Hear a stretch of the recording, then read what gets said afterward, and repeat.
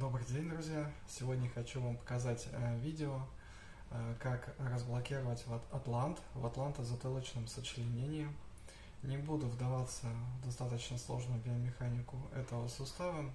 Э, скажу лишь то, что действительно нормальная подвижность в этом э, суставе очень важна э, для функции органов э, черепа, для того, чтобы нормально функционировало зрение, например, слух э, и так далее, да, не было головных болей.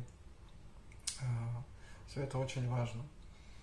Вам нужно определиться с тем, какой сустав заблокирован и в какую сторону нужно двигать сустав для того, чтобы улучшить подвижность в нем. Сустав может болеть или слева, и справа, Э, предварительно перед тем, как э, начать э, лечение, нужно провести такую простую достаточно диагностику. Вам нужно наклонить голову в одну сторону и повернуть голову в другую сторону.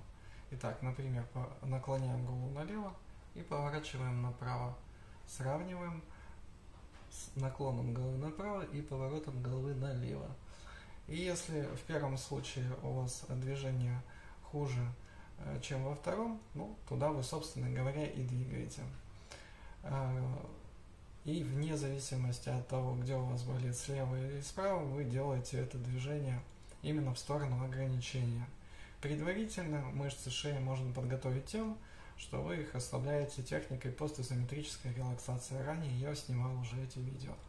А также можно сделать э, поперечный массаж Э, коротких разгибателей э, шеи в подзатылочной области. Просто устанавливаете таким образом пальчики, э, средний на указательный, и прорабатываете места прикрепления мышц в подзатылочной области. Они очень хорошо чувствуются, эти места прикрепления, они болезненны. Так вы их и прорабатываете несколько минут.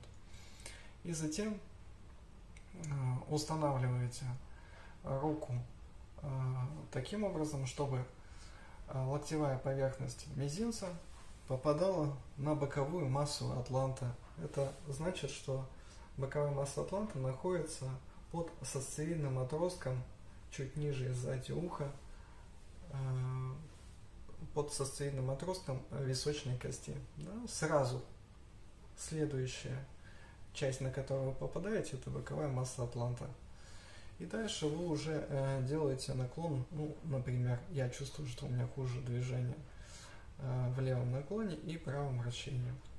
И вы делаете это движение левый наклон и правое вращение.